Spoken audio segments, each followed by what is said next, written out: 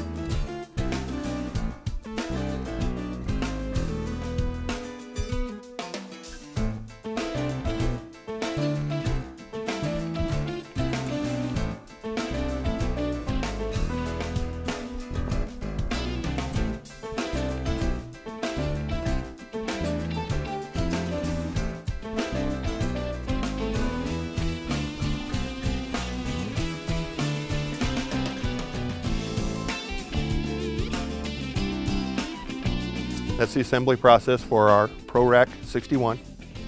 All of our desks assemble in the same fashion. Uh, if you have any questions, please contact your Sweetwater sales engineer.